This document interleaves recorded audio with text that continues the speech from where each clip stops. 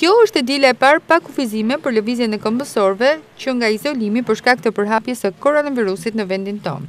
Por dita e sotme ka nisur me vranësira duke minimizuar lëvizjet e qytetarëve në rrugë. Plazhet kanë qenë të boshatisura ndërsa familjarët kanë preferuar të shëtisin ose të kalojnë orët e paradites në baret dhe lokalet e preferuar që kanë qenë të hapura gjatë kësaj të diele. Situata ka qenë e qetë, ndërsa qarkullimi i automjeteve i ulët.